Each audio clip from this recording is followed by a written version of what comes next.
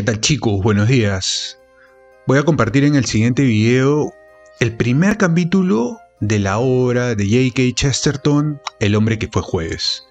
Si a ustedes les gusta el género de la investigación, el género de la, del misterio, el género de la conspiración también, estoy absolutamente seguro que les va a encantar este libro de J.K. Chesterton, Gilbert Kate Chesterton, que además, en estos tiempos modernos, complicados, confusos, ejerce a este autor una gran relevancia porque fue una suerte de profeta de su tiempo.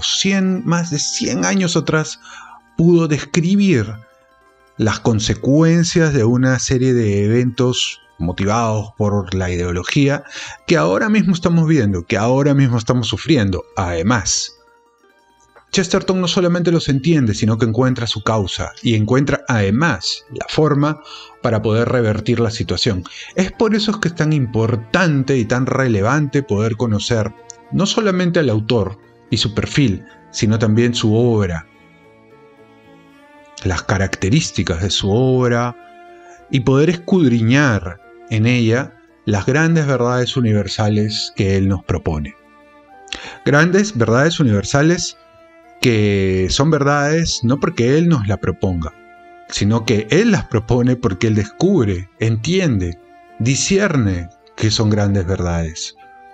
Grandes verdades que ahora, nuestro tiempo, nuestro mundo, niega y se rehúsa a reconocer. Así que nada, breve historia de este libro, breve historia de este libro, breve historia personal de este libro es que me lo regaló mi ex novia hace años ya, una ex enamorada que tuve. Y a este libro yo no le di su oportunidad en su momento porque, porque pues me llevaba mal con ella y, no quería leerlo. Ya está.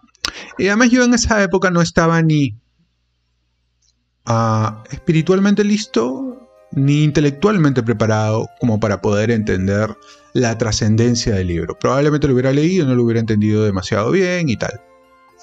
Pero creo que es importante ahora poder revalorar este tipo de literatura, ponerla sobre la mesa y que nosotros podamos comprenderla, entenderla de manera profunda. ¿Qué es lo que vamos a hacer hoy? Es lo que vamos a hacer hoy. Así que listos y preparados que vamos a iniciar una aventura intelectual, literaria, espiritual, en relación a J.K. Chesterton de quien ya hice un video anteriormente, pero que ahora quiero adentrarme de manera más profunda en su obra, ¿vale? Así que vamos a leer solamente la primera parte. Si este video, si este video tiene, tiene acogida, yo creo que podemos empezar a leer un poquito más de Chesterton y que ustedes puedan además entenderlo en casa, compartirlo, buscarlo y poderse adentrar un poco más, no solamente en Chesterton, sino en, en los autores contemporáneos con los que él trabajó, dialogó, compartió, y también en los autores del que él mismo bebe, ¿vale?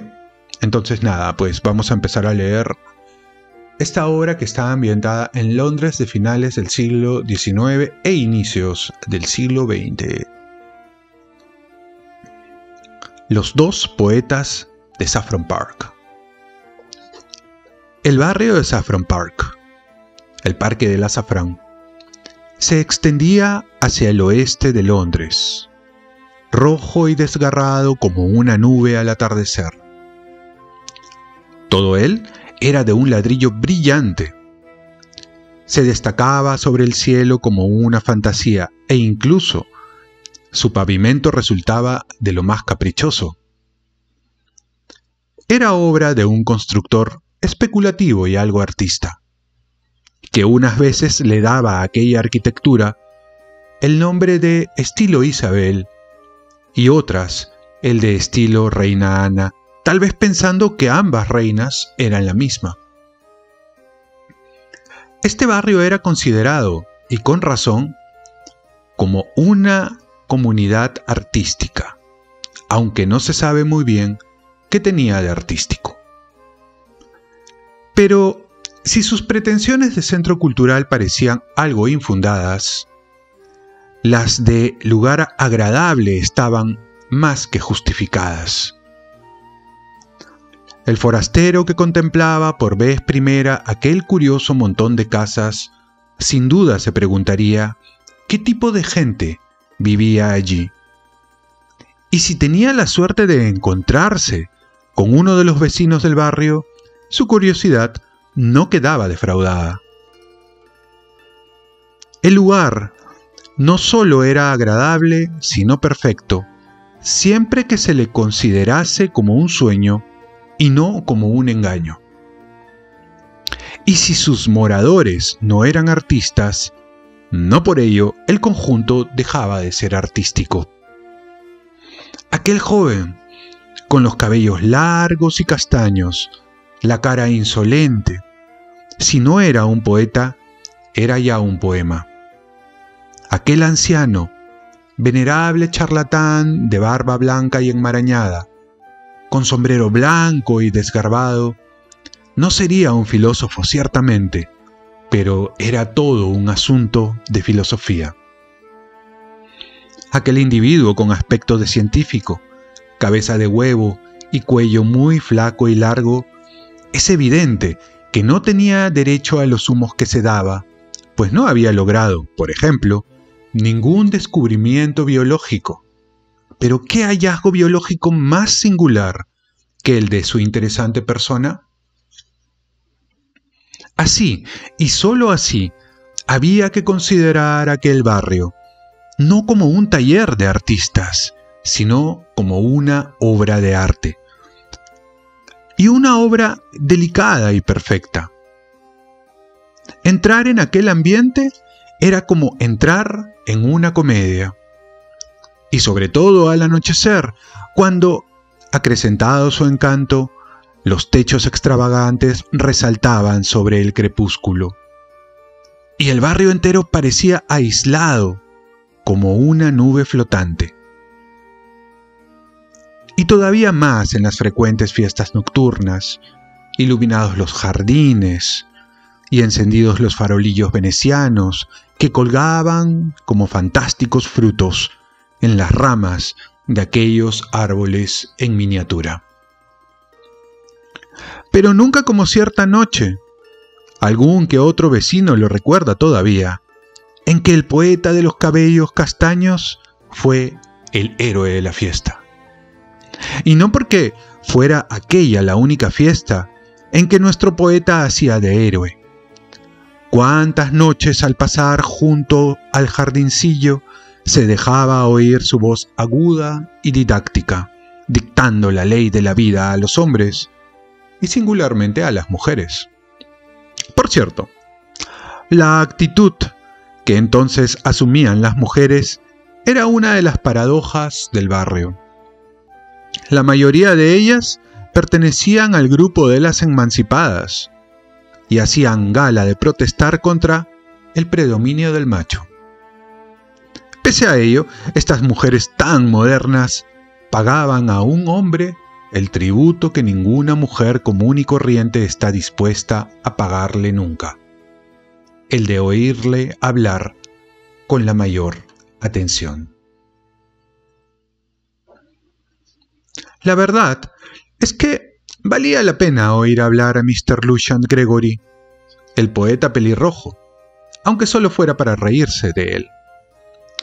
Disertaba el hombre sobre la patraña de la anarquía del arte y sobre el arte de la anarquía con tan impúdica jovialidad que, siempre que no se le escuchara mucho rato, tenía su encanto.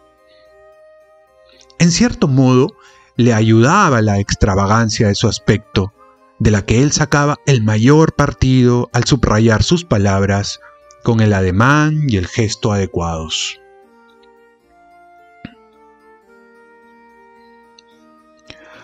Sus oscuros cabellos rojizos, con la raya en medio, eran como de mujer y se rizaban suavemente, como en una virgen pre-rafaelita.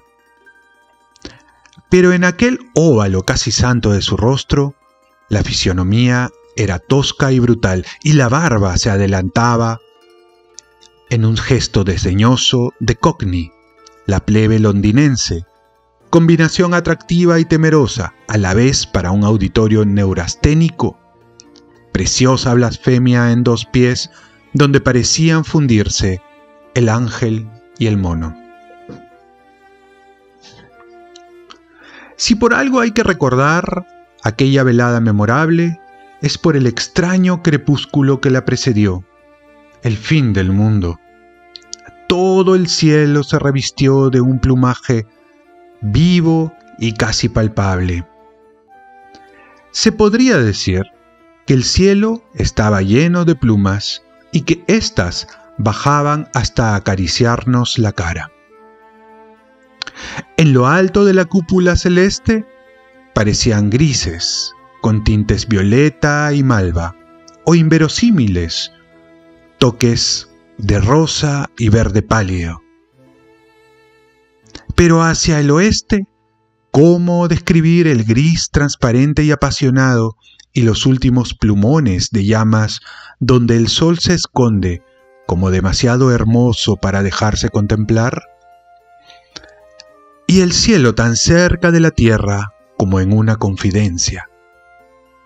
El propio cielo convertido en un secreto, reflejando la espléndida pequeñez que hay siempre en el alma de los patriotismos locales.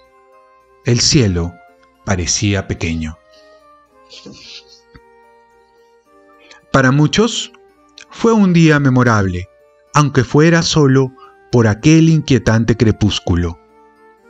Para otros, porque entonces se presentó por vez primera el segundo poeta de Saffron Park. Durante mucho tiempo, el revolucionario pelirrojo había reinado sin rival, pero su no disputado imperio llegó a su fin en la noche que siguió a aquel crepúsculo. El nuevo poeta dijo llamarse Gabriel Saem. Tenía un aire excelente y calmado, una linda y puntiaguda barbilla, y unos cabellos amarillentos. Pero rápidamente se notaba que era menos manso de lo que parecía. Dio la señal de su presencia enfrentándose con el poeta establecido, con Gregory, en una disputa sobre la naturaleza de la poesía. Syme declaró ser un poeta de la legalidad, un poeta del orden y hasta un poeta de la respetabilidad y los vecinos de Saffron Park lo consideraron asombrados, pensando que acababa de caer de aquel cielo imposible. De hecho, Mr. Lucian Gregory, el poeta anárquico, descubrió una relación entre ambos fenómenos. Bien puede ser, exclamó en su tono lírico habitual. Bien puede ser que, en esta noche de nubes fantásticas y de colores terribles, la Tierra haya dejado de sí semejante monstruo, un poeta de las conveniencias. Usted asegura que es un poeta de la ley y yo le replico que es usted una contradicción en los términos. Y me asombra que en noche como esta no aparezcan cometas ni ocurran terremotos para anunciarnos la llegada de usted. El hombre de los dulces ojos azules, de la barbita descolorida, soportó la tormenta con cierta solemnidad sumisa. Y el tercero en discordia, Rosamunda, la hermana de Gregory, que tenía los mismos cabellos bermejos, aunque una fisionomía más agradable. Soltó aquella risa, mezcla de admiración y reproche, con que solía considerar al oráculo de la familia. Gregory prosiguió en su tono grandilocuente. El artista es uno con el anarquista, son términos intercambiables. El anarquista es un artista. Artista es el que lanza una bomba, porque todo lo sacrifica a un supremo instante para él, es más un relámpago deslumbrador, el estruendo de una detonación perfecta, que los vulgares cuerpos de unos cuantos policías sin contorno definido. El artista niega todo gobierno, acaba con toda convención. Solo el desorden place al poeta. De otra suerte, la cosa más poética del mundo sería nuestro tranvía subterráneo. Y así es, en efecto, replicó Mr. Syme. ¡Qué absurdo! exclamó Gregory, que era muy razonable cuando los demás arriesgaban una paradoja en su presencia. Vamos a ver. ¿Por qué tienen ese aspecto de tristeza y cansancio todos los empleados, todos los obreros que toman el subterráneo? Pues porque saben que el tranvía anda bien, que no puede menos de llevarlos al sitio para el que han comprado billete, que después de Sloan Square tienen que llegar a la estación Victoria y no a otra. Pero, oh rapto indescriptible, ojos fulgurantes como estrellas, almas reintegradas en las alegrías del Edén, si la próxima estación resultara ser Baker Street. Qué poco poético es usted, replicó el poeta Syme. ¿Y si es verdad lo que nos cuenta de los viajeros del subterráneo? Ellos serán tan prosaicos como usted y su poesía. Lo raro y hermoso es llegar a la meta, lo fácil y vulgar es fallar. Nos parece un gran logro que el arquero alcance desde lejos a una ave con su dardo salvaje. ¿Por qué no había de parecérnoslo que el hombre le acierte desde lejos a una estación con una máquina salvaje? El caos es imbécil. Pues en él, el tren puede ir igualmente a Baker Street o a Bagdad. Pero el hombre es un verdadero mago y su magia consiste en que dice, sea victoria, y aparece. Guárdese sus libracos en verso y prosa, y a mí déjeme llorar lágrimas de orgullo ante un horario de ferrocarril. Guárdese su Byron, que conmemora las derrotas del hombre, y, deme a mí, en cambio, el Bradshaw. ¿Entiende usted? El horario Bradshaw, que conmemora las victorias del hombre. Venga el horario. ¿Va usted muy lejos? preguntó Gregory sarcásticamente. Le aseguro, continuó Syme con ardor, que cada vez que un tren llega a la estación, siento como si se hubiera abierto paso entre baterías de asaltantes. Siento que el hombre le ha ganado una victoria más al caos.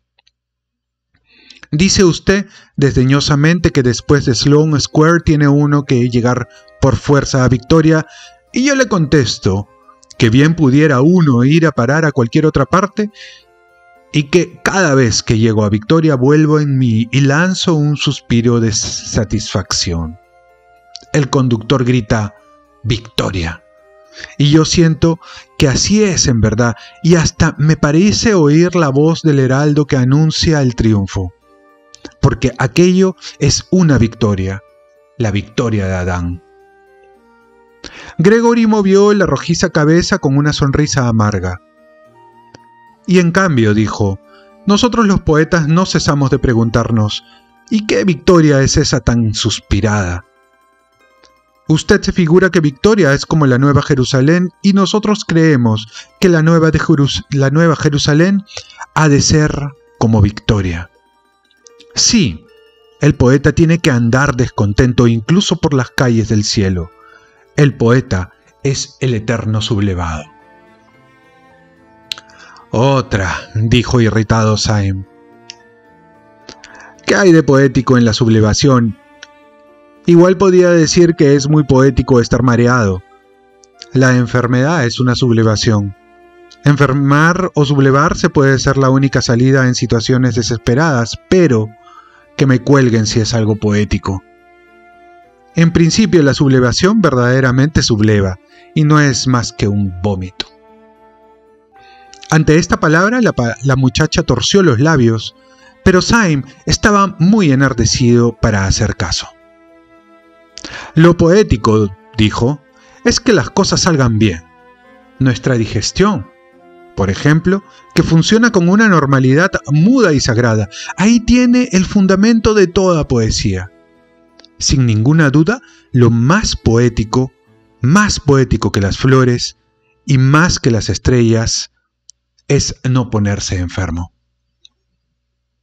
La verdad, dijo Gregory con altivez, el ejemplo que usted escoge... Perdone, replicó Syme con acritud. Se me olvidaba que, te, que habíamos abolido las convenciones. Por primera vez una nube de rumor, de rubor apareció en la frente de Gregory. No esperará de mí, observó, que transforme las sociedades de este jardín. Saim le miró directamente a los ojos y sonrió bondadosamente. No, ciertamente, dijo, pero creo que eso es lo que usted haría si fuera un anarquista serio.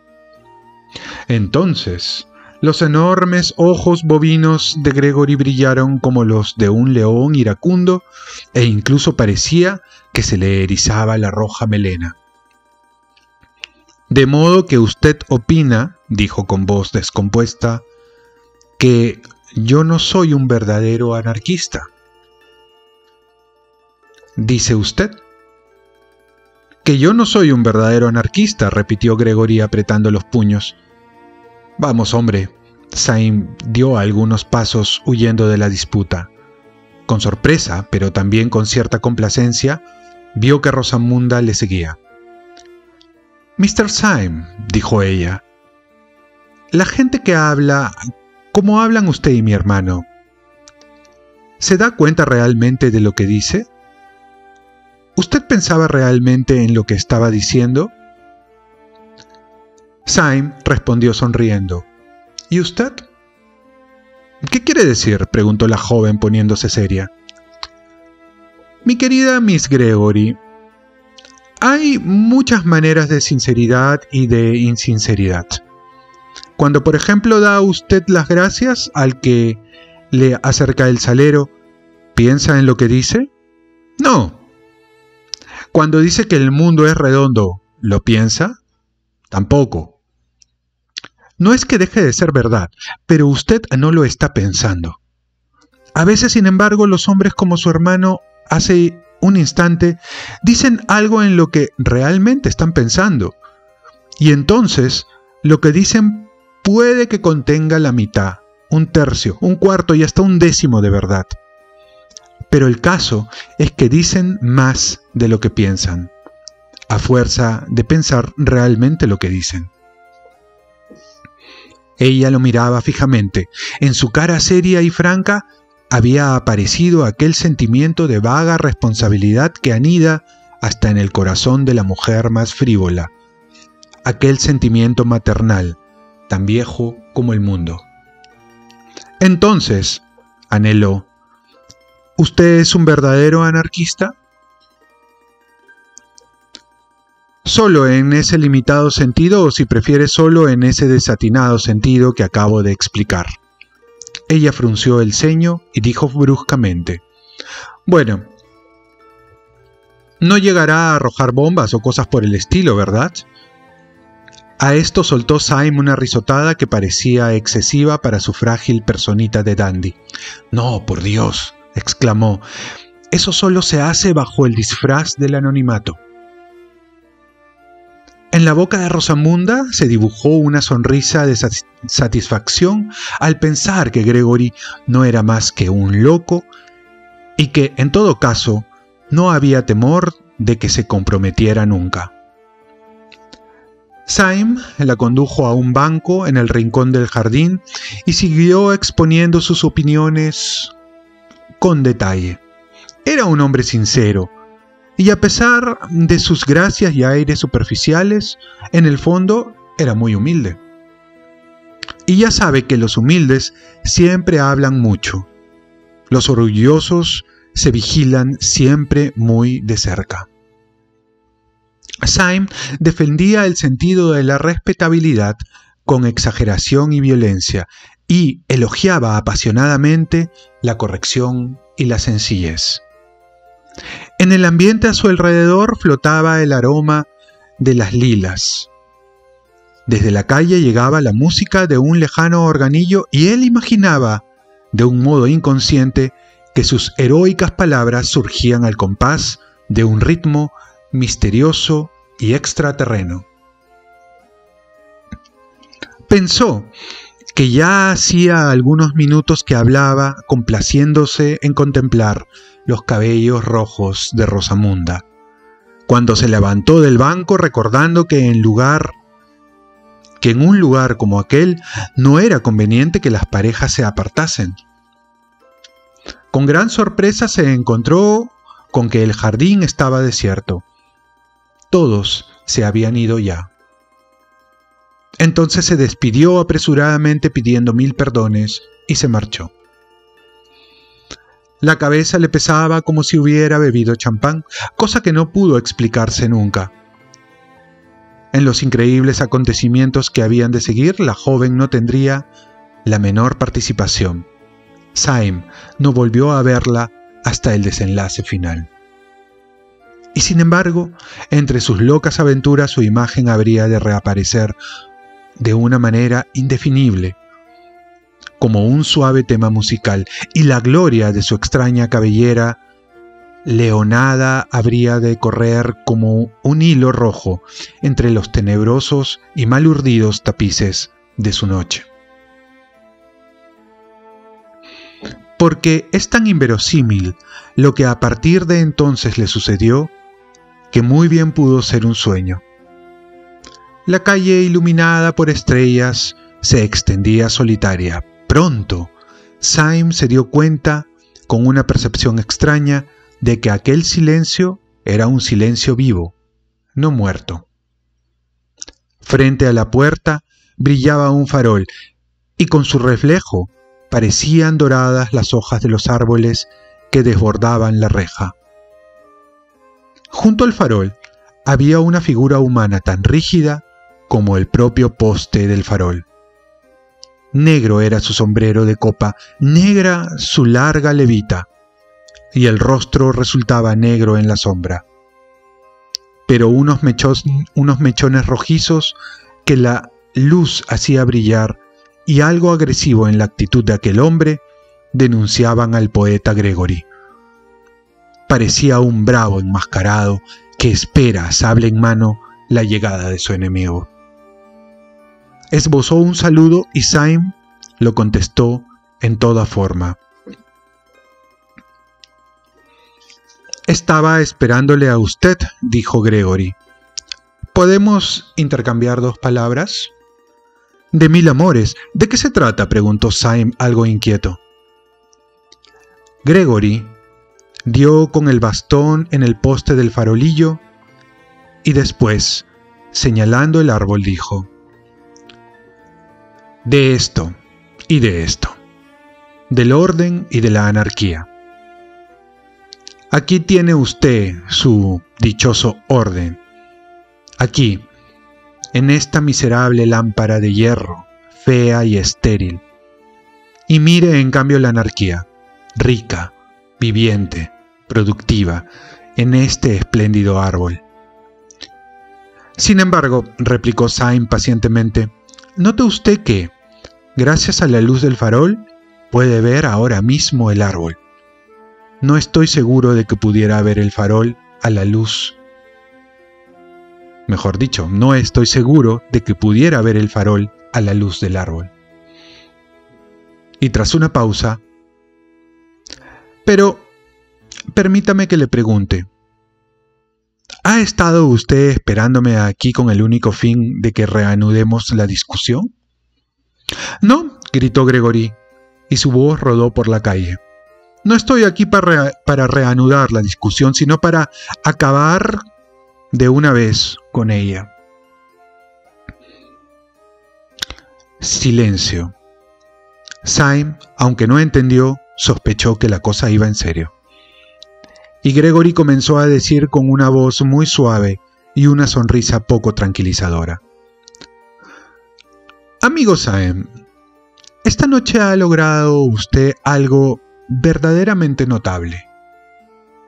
Ha logrado usted de mí algo que ningún hijo de mujer logró nunca. ¿Es posible? No. Espere, ahora recuerdo, reflexionó Gregory. Otro lo logró antes. Si no me engaño, el capitán de una barca de Southern. Resumiendo, ha logrado usted irritarme. Crea que lo lamento profundamente, contestó Syme con gravedad. Pero temo, añadió Gregory con mucha calma, que mi furia y el daño que usted me ha hecho sean demasiado fuertes para deshacerlos con una simple excusa. Por otra parte, tampoco lo borraría un duelo, ni matándole los podría borrar. Solo queda un medio para hacer desaparecer la mancha de la injuria. Y es el que escojo a riesgo de sacrificar mi vida y mi honor. Voy a probarle que se ha equivocado en sus afirmaciones. ¿En mis afirmaciones? Sí, usted ha dicho que yo no era un anarquista serio. Fíjese que en esto de la seriedad hay grados, advirtió Syme. Yo nunca he puesto en duda la perfecta sinceridad de usted en cuanto a que haya dicho lo que cree que se debe decir al hablar así. Sin duda, exageradamente, usted consideraba que una paradoja puede despertar en los hombres la curiosidad hacia una verdad olvidada. Gregory lo observaba fija y penosamente. ¿Y en otro sentido, no me cree sincero? preguntó. ¿Me toma por un vagabundo del pensamiento que deja caer una que otra verdad casual? Entonces, ¿no me cree usted serio en un sentido más profundo, más fatal? Saime exclamó, pagando en el suelo, pegando en el suelo con su bastón. Serio, Dios mío. ¿Es seria esta calle? ¿Son serios los farolillos venecianos del jardín y toda esta farándula? Viene uno aquí, dice uno dos o tres majaderías y tal vez dos o tres aciertos, pero francamente me merecería muy pobre opinión un hombre que no tuviera en el fondo de su ser alguna cosa más seria que toda la charlatanería que dice uno, ya sea una preocupación religiosa o al menos la afición al vino. Muy bien dicho, exclamó Gregory, y su rostro se ensombreció. Ahora va a haber algo más serio que el vino y que la religión. Syme esperaba con su bondadoso aire habitual. Gregory desplegó los labios de nuevo. Acaba de hablar de religión. ¿Es usted religioso? Hombre, dijo Syme sonriendo, en estos tiempos todos somos cristianos. Bien, puedo pedirle que jure por todos los dioses y todos los santos de su creencia que no revelará lo que ahora voy a comunicarle a ningún hijo de Adán y sobre todo a ningún policía? ¿Lo jura usted? Si acepta este solemne compromiso, si acepta cargar su alma con el peso de un juramento que más le valiera no pronunciar y con el conocimiento de cosas en que usted no ha soñado siquiera, yo le prometo, en cambio, ¿Qué me promete usted? dijo Syme, viendo que el otro vacilaba. Le prometo una noche muy divertida. Syme se descubrió al instante y dijo, un ofrecimiento excelente para que pudiera yo rehusarlo. Usted afirma que un poeta es necesariamente un anarquista y yo difiero de su opinión, pero confío al menos que el poeta es siempre un hombre de mundo y gran compañía para una noche. Aquí mismo le juro a usted como cristiano y ofrezco como buen camarada y compañero que no contaré nada a la policía, sea lo que fuere. Y ahora, en nombre del manicomio de Colney Hatch, dígame de qué se trata. Creo que lo mejor es tomar un coche, contestó Gregory con plácido disimulo. Dio dos grandes silbidos y no tardó en aparecer un coche, sonando sobre el empedrado. Subieron. Gregory dio al cochero la dirección de una oscura taberna junto al río por la parte de Chiswick. Arrancó el coche y en él nuestros dos fantásticos sujetos se alejaron de su fantástico barrio. Muy bien. Ha terminado la primera parte de El hombre que fue jueves, los dos poetas de Saffron Park. A modo de conclusión de esta primera parte, se presentan dos posturas, el poeta anárquico y el poeta del orden. Lo interesante del poeta anárquico es que considera que la belleza, el arte y en este caso la poesía se lucen de mejor manera en un entorno destructivo, en un entorno incierto, en un entorno donde cualquier cosa puede suceder, cualquier cosa puede pasar. Sin embargo, Saem lo que dice es, no, la poesía es orden. La poesía es la magia que hace el ser humano al acertar dentro de la jungla de lo imprevisto.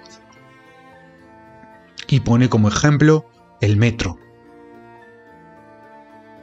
Pero para que ese ejemplo tenga sentido, nos explica también a través de un ejemplo que todos nos admiramos de que el arquero pueda acertar a su objetivo a larga distancia. Y todos decimos y exclamamos, como por ejemplo en las Olimpiadas, wow, qué puntería, qué acierto, qué experiencia y preparación debe tener. O nosotros podríamos decirlo también en el fútbol cuando un goleador hace un gol fantástico, cuando Messi acierta justo en el ángulo del arco, nosotros decimos solamente un genio puede hacerlo y vemos arte en aquello. Sin embargo, Mr. Gregory desdeña esa posibilidad. Él encuentra belleza en la anarquía, en el desorden, en el caos. De alguna forma, en la revolución. Entonces estas dos posturas se encuentran, estas dos posturas colisionan. En el marco, además, en donde prevalecía una opinión, la opinión anarquista, en donde el anarquista era el único protagonista. Pero curiosamente, en ese escenario ya establecido de artistas y bohemios, aparece como si apareciera en una feria progresista de nuestros tiempos alguien que dice no, la belleza en realidad se encuentra en el marco de lo establecido, en el marco del orden. ¿Y qué es el orden si no tiene un propósito? De alguna manera lo que nos está diciendo entre líneas Mr. Syme, y en este caso Chesterton, es que hay una cuota de belleza en todo aquello que, que tiene un orden, que tiene un orden hecho por las personas y que nosotros solemos pasar totalmente desapercibido. Cuando tomamos el metro o cuando tomamos el tranvía, cuando tomamos el bus, no nos fijamos en toda la ingeniería que ha estado detrás para poder destruir la jungla del desorden de la incertidumbre. Y nuestros protagonistas se enfrascan en un duelo de argumentos, se encuentran luego, porque Mr. Gregory es quien busca a Mr. Syme. Mr. Gregory es quien lo busca, porque lo quiere convencer, primero, de que él es un verdadero anarquista, y lo quiere llevar a su campo, al campo de la anarquía. Si estás interesado en escuchar la segunda parte de El hombre que fue jueves y su respectivo análisis, te invito a que te suscribas a este canal, que le des eh, clic a la campanita, que compartas este video con tus amigos, con las personas que tú consideras importantes y que les pueda agradar este tipo, este tipo de contenido, y que me dejes tu comentario, obviamente, para que este video se pueda viralizar y pueda llegar a más personas de manera ordenada. Muy bien, nos vemos en el próximo video.